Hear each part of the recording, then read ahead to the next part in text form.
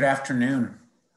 Welcome to the first town hall meeting of 2021 for the School of Pharmacy, and I thank you all for your active participation. I'd like to go through the usual tips before we begin. Your audio and video will be automatically muted. Only the panelists can unmute themselves. The chat function is disabled. For questions for participants, please use the Q&A function at the bottom of your screen. Any questions that we're not able to answer today, as always, will be answered via email, or if anonymous, we'll, we'll try to answer it at the next town hall. As always, we'll hold all questions until the end of the presentation. So just a few announcements as always. Um, I thought I would first just spend a few moments talking about UCSF and where we are on the surge. You all read the newspapers, so you know how the uh, the Bay Area is doing, how California is doing, the U.S., the world, and beyond. But um, and Desi can probably talk about this a little bit later as well. We're kind of hanging in there in the mid 50s in terms of COVID infected patients at UCSF. Uh, this is actually a welcome number because at one point, uh, just a couple weeks ago, we were in the mid 90s. Of those uh, 54 patients today, when I checked today, 24 are in critical care areas. And that's important always to highlight that because it's the uh, needs in critical care that are particularly important. And we also keep track of how much space we have in the critical care area. So with 24 in critical care, that's at a that's a 77% um, uh, fillage at the moment. And of those 24, 16 require uh, actual ventilation, and one is on ECMO. And for those that don't know what ECMO is, that is uh, uh, a what's called extracorporeal um, oxygenation. What that is is literally oxygenating the blood, but not doing it in traditional ways through the lung. Um, that's for particularly sick patients. A few recent uh, changes. Um, one, some incredibly good news. We have all these student vaccinators uh, in the school who already have done a lot and are being asked to do a lot. And I will tell you, and I'm really going to compliment the State Board of Pharmacy at this point. Literally, Tuesday, all the deans of schools of pharmacy in the state of California sent a letter to the State Board of Pharmacy the topic uh, was specifically asking if the state board could loosen up the requirement that only pharmacists, frankly, pharmacists that had already been trained to vaccinate, could be the preceptors of pharmacist interns. We said it didn't make sense that why not nurses or physicians or other individuals. We literally sent the letter to them on Tuesday by yesterday, Wednesday, they replied that they were going to uh, bring a waiver forward. And so now, in fact, it does not require a pharmacist to be there for uh, these intern pharmacists to be vaccinated. So incredibly important, especially, and Lisa and Desi will talk about this later, uh, student vaccinators are an incredibly important part of the workforce as it relates to trying to take on this really massive national, state, and local undertaking. A couple other things I want to remind you, and you received a notice of it today already, that the UCSF's third anti-racism town hall will take place tomorrow at 12 noon. There will be a bit more of a focus this time on faculty, but uh, I welcome everybody to join with, with what has been really, I think, informative and wonderful communication about anti-racism efforts at UCSF. All of you should have received an email uh, emphasizing that we launched the Foundations of Diversity, Equity, and Inclusion training module. This is something all UCSF members will uh, must take. Uh, you should have received notice just three days ago, January 25th, about this. If you have any doubts, do what you can uh, to look at. Um, you can just basically go on the um, uh, the UCSF website, and you will find that in the training module uh, section, this one particularly. And so uh, if you have any trouble with that, please contact me and I'll point you the right direction. I want to take a moment here uh, to first acknowledge Michael Nordberg. Uh, we've done it in writing, we did it at the full faculty meeting, but I want to do it now at this last town hall. Um, our outgoing Associate Dean for Administration Finance in the School of Pharmacy.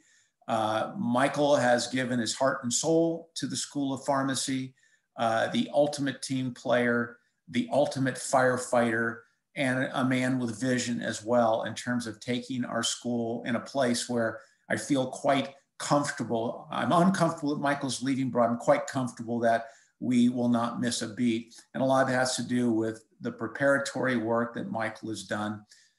You all know him well, um, past uh, recipient of the Chancellor's Award for Exceptional University Management. And again, uh, just uh, a wonderful colleague. I wish we could, you know, have a celebration. Um, I, I, I, suggested maybe another one of those virtuals. I think Michael said, well, why don't we hang tight for a little bit on that? My real goal is I'm hoping we can celebrate all our retirees and other individuals who essentially are leaving chairships, et cetera. I'm really hoping we're going to use Elizabeth Daniels uh, funds to really put on a nice get together for the entire school. But of course, there's a big asterisk to that, and that'll be when we can. But that is still going to be the goal. So, Michael, from my heart, thank you for everything that you've done for us.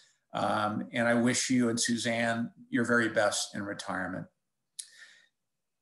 So that means I also uh, would like the opportunity to introduce the incoming Associate Dean for Administration Finance in the School of Pharmacy, effective March 1, and that's Alicia Woods.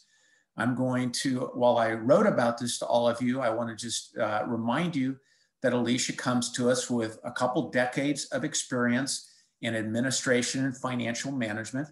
In the last 10 years, she served as the Chief Administrative Officer for the Department of Physiology. As with Michael, Alicia has been the recipient of the Chancellor's Award for Exceptional University Management. She is also a three-time recipient of the School of Medicine's Achievement Award. I know for a fact she has exquisite ability to take on the most complicated financial, space, and HR situation while still maintaining superb vision and strategies. We're very lucky to have her.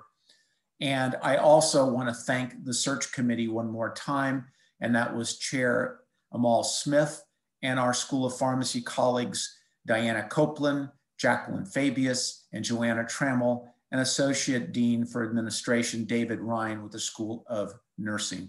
So now, uh, before I move on, I actually, let me just say one more thing well, before I turn this over to Alicia just for a bit here. I also want to acknowledge uh, Michael, who his last day will be next Monday. Um, I want to thank James Joves, our Chief Financial Officer, who has, uh, uh, is willing to accept the interim Associate Dean for Administration and Finance for the week, I mean, for the month of February thank you, James. Uh, I thank you uh, before uh, personally, but I want to, in front of everybody, as you've always done, stepping to the help out the various departments in the dean off, dean's office, and I'm grateful that you did this as well. So with that, I'm going to turn it over um, to Alicia, and who will then turn it back to me, and I will um, uh, get things going for the um, the specific topics in this particular uh, town hall. So, Alicia. Thank you. I'll be brief. I'm uh, super excited to be joining the School of Pharmacy family. I'm looking forward to working with everyone and hopefully seeing everyone uh, when the time is right. Thank you. Thank you, Alicia. So back to me. Um, so as I, so our topical program today is going to center upon the coronavirus vaccines. There are so many questions about this. There's so many misconceptions. And I'm now going to hand it over to Grant Birmingham, the school's editorial director, who will introduce today's presenters. Grant. Thanks, Joe. um, as Joe mentioned, the topic of the town hall today is the COVID vaccines. And critically, the efforts at UCSF to vaccinate our population and the country at large. So on that note, we're lucky to have Desi Kotis with us here today. She's the Chief Pharmacy Executive at UCSF Health and an Associate Dean and faculty member in the School of Pharmacy. And we also have Lisa Kroon, who's the Chair of the Department of Clinical Pharmacy. Um, both, of, both of them have been instrumental in distributing the COVID vaccine for UCSF. As Joe said, we will have some time after their presentations for questions and answers. So feel free to type those into Zoom now and we will get to them as soon as Lisa and Desi are done speaking. Uh, so first up, Lisa Kroon. Uh, Lisa, thank you for joining us. My pleasure. Thank you for having uh, me. I'm going to switch to my slides.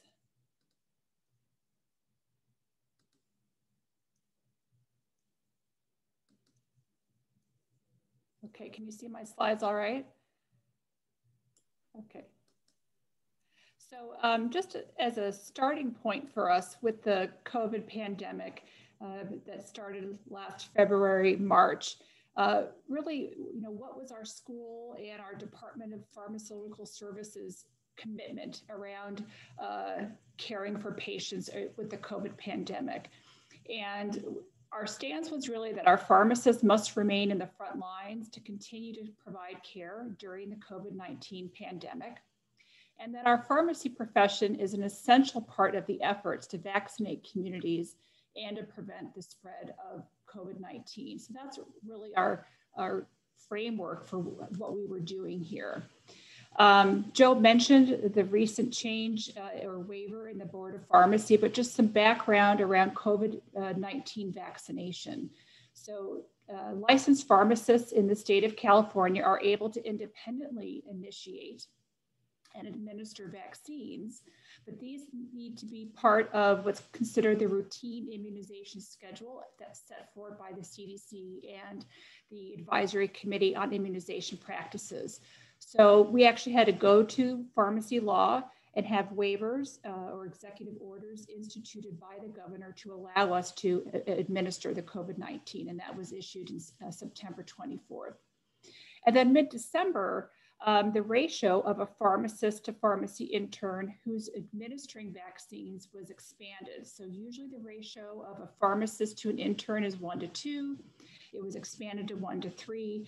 And then mid December, it was even further expanded to four to one, which really provides uh, another great opportunity for our students to play a role. And then, as Joe mentioned just yesterday, um, the supervision of our students was expanded to allow physicians, nurse practitioners, and uh, physician assistants to be able to supervise our pharmacy interns or pharmacy students. And this is going to be really critical as uh, California uh, starts more vaccination kind of mega sites where we may not have faculty, but if there's a physician organizing it or a nurse practitioner, they'll be able to supervise. So really exciting about that. Hey, Lisa, Lisa? Uh, I'm just going to interrupt for one second. We're having a little bit of mic problems. I don't know, maybe you can get okay. closer to your microphone. Let me, can you hear me now? Yeah, that's very clear. Okay. Yes, much better. i am just going to talk louder. Sorry, all. So um, if you go to the UCSF website right now, you're going to see Dr. Valerie Clinard's picture. Um, and the title is Leaders in Learning. So as Joe mentioned in early September, we anticipated our students playing a key role in vaccinating uh, uh patients for the COVID-19 vaccine and we trained our entire first year class in order to partake in this effort. So currently today, our School Pharmacy support has been primarily around two different roles, serving as vaccinators and helping with the pharmacy operations with Department of Pharmaceutical Services. So in December, uh, when we first kicked off the first site uh, at uh, Parnassus on December 16th, it was actually our pharmacy students and pharmacists that were playing the main role as vaccinators. Starting January, agency nurses have been brought in, uh, but we're really proud that it was actually our pharmacists and students really serving in that role. Um, Val Clinard conducted a training uh, for six additional pharmacists to play this role, one faculty member and actually five of our medical center pharmacist colleagues, and she's planning to repeat this training um, for UCSF and some of our UC partners and other key sites.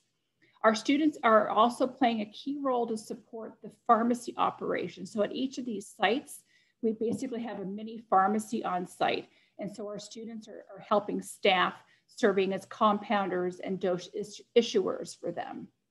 So a lot of the efforts in December were really just in time. We were working minute by minute, day by day. Uh, we developed a Zoom training that was uh, held on December 16th. Trang Trinh, our faculty member, led that with the first clinic starting the next day.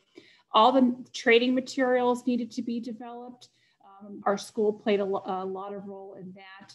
Lots of logistics, uh, won't go into the details. I want to do a shout out to Lisa Duca, my executive analyst who worked with me off hours and weekends to get all these logistics put together.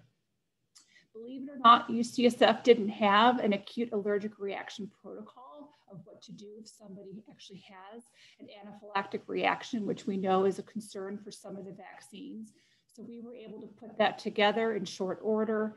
Fortunately, this is our, already part of pharmacist scope of practice, so we were uh, playing that role. The vaccines are drugs, and so we, as any UCSF uh, new drug, we have to have a, monograph. It has to be approved by our Pharmacy and Therapeutics Committee and Executive Medical Board. So those monographs were produced. Candy Tsourounis and our Medication Outcomes Center worked in short order to get those uh, rush approval. So moving forward, our students, as I mentioned, are mainly going to be supporting or prioritizing the pharmacy operations role. Um, I didn't want this to be a separate rotation for them. I worked closely with Tram Cat and Judy Tran, our experiential directors, just to see how we can incorporate this into IPPEs and APPEs for our students. And we did a similar approach for our residents. And then moving forward, of course, lots of opportunity for volunteering still as vaccinators. So uh, the mobilization efforts in December were just really uh, amazing to see. Um, it was it was actually a, a, remarkable response from all health professional students. There were medical, dental, nursing there as well as pharmacy. But if you just take a look here, we've had over 190 students participate already in these shifts. All of our residents are involved and more than 100 pharmacists and technicians have been redeployed to support this effort. And I'll close with just some pictures here. This shows the first arrival of the Pfizer vaccine on the left, um, kind of the size of a pizza box. Uh, these are uh, some pictures of the first day. Matthew Aludino, a third year pharmacy student, actually was the first to administer a vaccine to an employee at UCSF. And then the other shot there is Marilyn Stebbins, one of our student uh, who were uh, serving as vaccinators there. Um, we, of course, are very concerned around uh, making sure people get the right vaccine. We, these are not interchangeable. So the pharmacy department has a, bought special labelers called codonics to make sure uh, there's absolutely no confusion and they've tried their best to have, you know, the Moderna vaccine just at, at Mission Bay and the Pfizer vaccine at, at Parnassus. So Mission Bay M and uh, P for Parnassus Pfizer. Um, this just shows you an example of these mini pharmacies that we've built uh, at each of the sites uh, where the compounding is happening. And then I know this is all about vaccine, but I did have to put a shout out around our our uh, pharmacist providers actually caring for patients with COVID. Um, many are heavily involved. Um, our, our infectious disease pharmacist faculty, Conan Catherine, Kathy, that service is just, you know, uh, so busy. They're working 24 seven supporting that. Of course, we have new therapeutics uh, treating patients with COVID.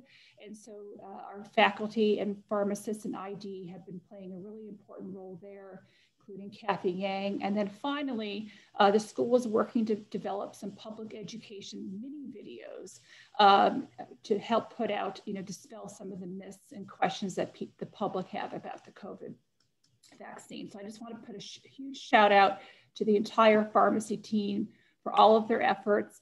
And then it's uh, my pleasure to uh, pass it off to my colleague, Desi. Thanks, Lisa. Good afternoon, everyone. Get my screen up here really quick.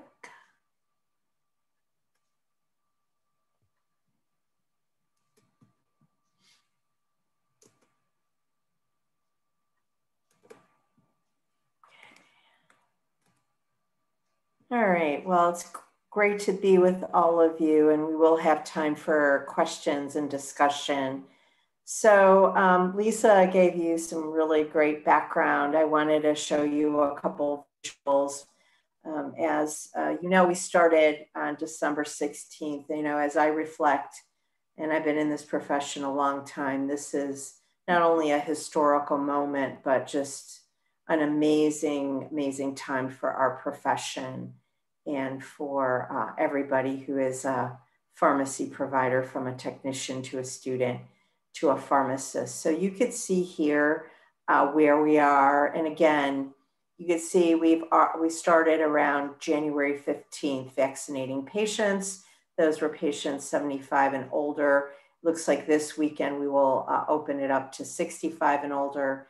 And then you could see where we are, uh, the blue line being healthcare workers, uh, students, uh, and Again, these were all vulnerable population or vulnerable workers who uh, needed, who worked with COVID patients or persons of interest. And we'll talk a little bit about what, to, what we're doing next in future phases with those who are either complete remote workers or those who don't uh, see patients and are administrative and um, may come in at least a couple times a week to campus and where the phasing will begin. Uh, for those that are on site at least once a week, they will be in the next phase. Um, and so we could talk about that more. So here are uh, the statistics uh, in a, a, little different format. We are also vaccinating um, non-UCSF healthcare workers and first responders. So uh, almost 20,000, uh, we're probably over 20,000 now since uh, these slides were done. And then uh, we, we show you what we've done with our folks. And this does not include the mega site that opened uh, just about a week ago uh, at City College, where our first day we did 550 uh, patients over 75. And starting tomorrow, they've been closed for a couple of days due to high winds and the weather. Starting tomorrow, they'll be uh, ramping up to a thousand. So we are really increasing uh, our numbers uh, quite significantly. Uh, this is uh, everybody's favorite slide, super busy. Um, and again, you could see this was from the beginning of the week where, um, where you see the vertical line. But um, again, we're pharmacists, so we, we need to color track by brand of uh, Pfizer or Moderna. You know, is this first dose allocation or second dose? So you could see, for example, on December 22nd, the 7,900 first dose matches another 7,900 right here, second dose. So it's sort of a Jack and Jill mix of you'll get your allocation of your second dose for people and, and where you are. And this is really um, Avi uh, Tutman and Julia Wang and others, um, uh, Sarah Coleman, Sana Sweiss, uh, our analysts who are working on our run rates and when we would run out of vaccine, depending on the scenarios. So again, the supply's been somewhat erratic. It's not your normal uh, vac flu vaccine supply or any uh, vaccine supply.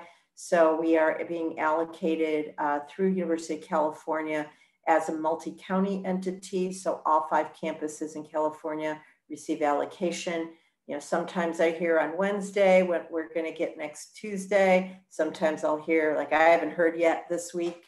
Uh, so hopefully it'll be by uh, 10 p.m. tonight that we'll know what we're going to get and about when delivery will happen. So again, um, it is a, it's a very slow and um, erratic process, but um, we keep going and I am really proud of what um, all of you and and the, uh, the school, the, the, the students and the faculty and the entire pharmacy team has accomplished.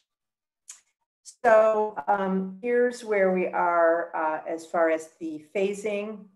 And you can see we started the day we received vaccine on December 16th. So everyone in that high risk uh, worker, first responder, 1A group, whether you're a custodian, whether you're a patient transport, a respiratory therapist, a pharmacist, doctor, nurse. Um, that group is pretty much done. There still are some that are um, coming in, they may have gotten their first dose uh, rotating in Fresno. Now that um, that person's on rotation in San Francisco, they may be getting their second dose. Uh, we started, uh, as I said, on the 15th of January with our uh, patients 75 and older. Um, and then on the 19th, we started with healthcare workers uh, that are not UCSF first responders um, that are coming to the Parnassus site. And I know there's no date here, but this, uh, they're actually making the decision at a meeting that I'm missing right now, but I'm almost positive that 65 and older will probably start, uh, if not tomorrow, over the weekend. We are going seven days a week. We're not breaking for any holidays uh, or weekends. And then you could see um, the next group will start um, this looks like it's in February. These are fluid changes. Monday, we heard, you know, that the governor is going all age based. Um, and, you know, so every day we hear new things and we need to, to make some changes. But um, again, uh, we will see uh, on-site workers probably, I know this says February, but it, it's, it's basically next week where if you're on site at least one day a week, uh, you will be able to come and get your vaccine. And then again, um, as we phase out, you could see uh, those um, plans up above. Lisa showed uh, our sites. Uh, Parnassus uh, will be ramping up. There's a um, uh, probably a ramp up to uh, close to a thousand um, vaccines a day. Mission Bay, we moved to the Rutter Center. Um, that will be at least a thousand a day. And then uh, we do have uh, a, a, a, site and, at Oakland. And then the City College site, uh, we, um, we're also doing about 40% uh, San Francisco City uh, uh, people, residents in San Francisco County as well. And that site uh, starts ramping up from like the 550 a day that they did to now um, a thousand a day. Here's a photo of the city site and you can see the various uh, lanes. It's completely drive through. We were gonna open a site because there is a muni station nearby for walk-ins um, and right now uh, the city is again this is a city site. It's it's we're we're helping staff it. We're providing vaccine obviously doing a lot for it but uh, the city wants to make sure they have uh, safety precautions for you know a tent for walk-ups but this is what the site looks like. And here you could see another view from lane one all the way down and, you know, we can adjust uh, doses and, you know, the thought is to ramp up to, to at least 3,000 a day or whatever the city um, would decide. All right, thank you. Thank you so much, Desi, um, and thank you, Lisa. Uh, I'm going to start out with a question which came up while we were preparing this video series on the vaccine, which is uh, there seems to be kind of a lack of information in certain areas. And uh, one of the questions was whether or not pregnant women should should get the vaccine. The CDC seemed to recommend that they should get the vaccine, and then the World Health Organization said, in particular, that they should avoid the Moderna vaccine for the time being. Um, what do we know about pregnant women, and how do we balance all this information we're getting from different sources? Lisa, do you want to start?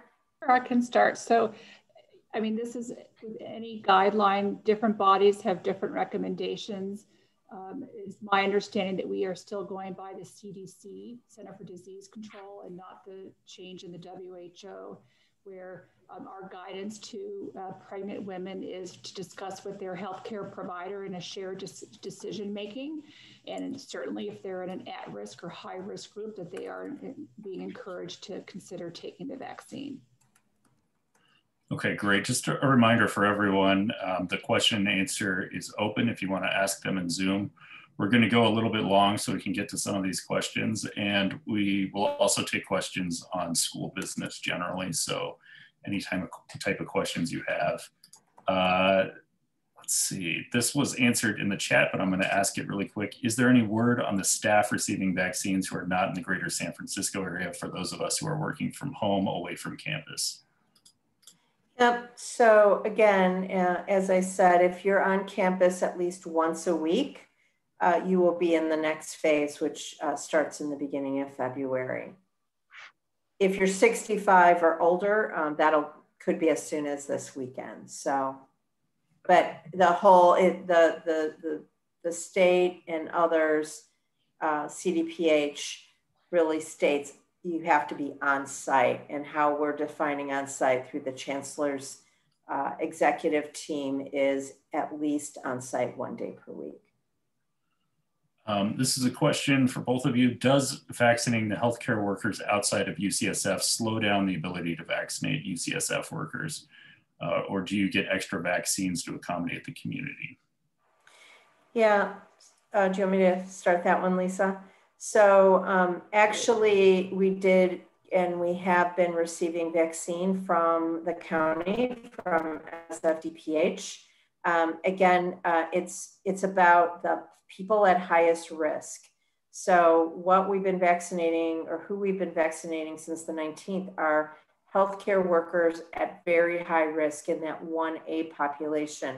We've completed 1A for UCSF uh, quite a bit ago, except for maybe a few people, but um, again, there's definitely room for, for uh, UCSF, but this is first responders and high risk healthcare workers in San Francisco, and we are getting supply. We actually got our first tranche from San Francisco Department of Health there were a couple weeks where the surges were so bad in Southern California that um, as a collective, we all decided uh, that our vaccine should go to Southern California. So UC Davis, UCSF did not receive vaccine for two weeks. So guess who gave us vaccine? That was San Francisco Department of Public Health. Okay, thank you. Um, I see Lisa typing out an answer to this. I'm going to interrupt her typing. For cancer survivors, would it be safe to take the mRNA vaccine?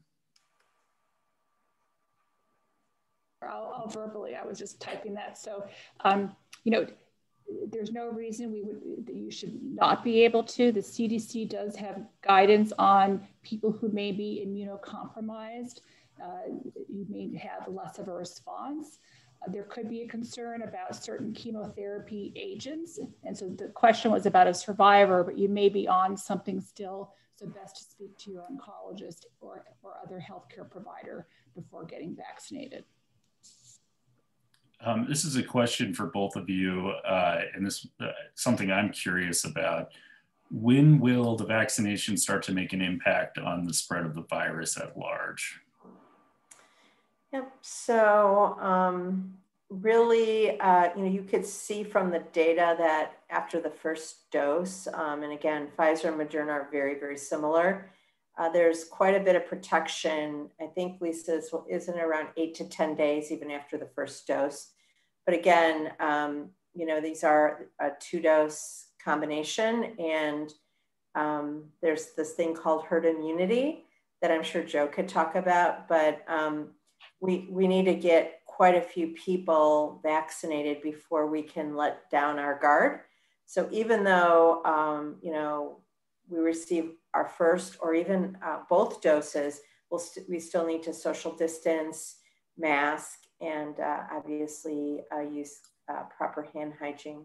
So um, it, it, will be some time. Lisa, did you want to add the specifics? Oh, I, I, think that's.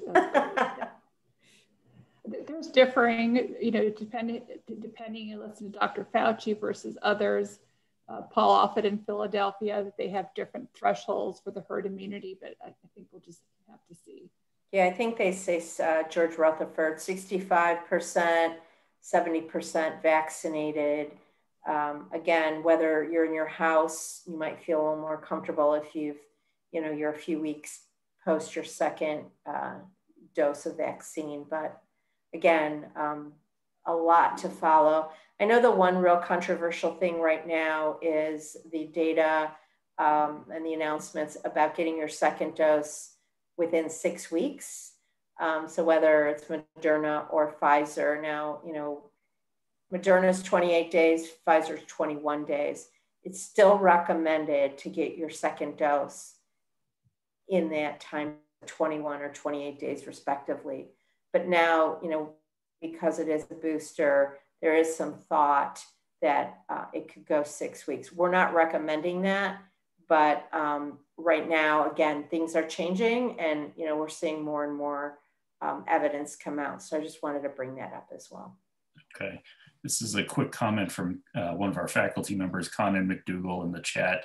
The vaccine protects well against symptomatic disease, but the extent to which it protects against transmission of the virus is not known. Israel will be the place to watch as they have vaccinated 25% of their population already. So not a question there, but a comment. Um, here's a question. How is the campus staff being notified of when to book an appointment? Yep, so um, we are using, uh, if, if you do have MyChart or if you don't have MyChart, uh, it's recommended uh, that you, this is um, kind of the old way. There is a new scheduling and open scheduling uh, system that's coming on board. But um, what has been done uh, thus far for UCSF employees and patients is through MyChart. Um, there's quite a bit of uh, you know this new open scheduling happening that should be easier. It's on the website, um, and for those that may have language difficulties or um, technology uh, isn't their friend, there is a, uh, a phone line that can be uh, utilized for booking appointments. Okay, I'm just going to do two more questions really quick. Um, First up, do you see differences of efficacy and side effects in various race, ethnicity, and age groups?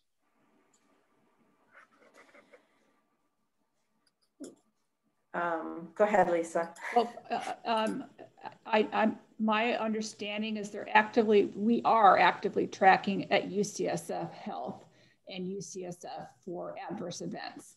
And, and that data uh, will be analyzed for any differences by age, race, ethnicity. Um, the clinical trials for the Pfizer and Moderna vaccine did see a difference in by age. So more senior people uh, seem to have actually less uh, side effects, such as the flu, flu-like symptoms, um, which are just a sign of the immune system being, you know, response being mounted. So there is a, a difference by age, certainly for the, some of the uh, more acute uh, reactions. Okay, thank you. And last question, will the vaccine need to be annual like the flu? Yeah, I don't think anyone knows yet. Um, I know there's some data, probably Conan can answer this question as well. Um, if we there will be boosters needed at two years or at, at three years. I don't know, Lisa, if you have any other data on that.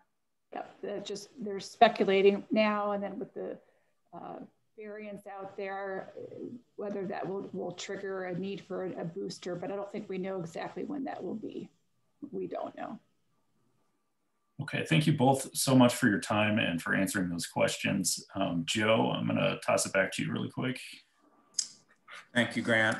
And uh, thank you, Desi and Lisa. I appreciate uh, you taking the time, especially Desi, when you had um, another meeting that you, uh, maybe we got you out of a meeting. So maybe you should thank me, come to think.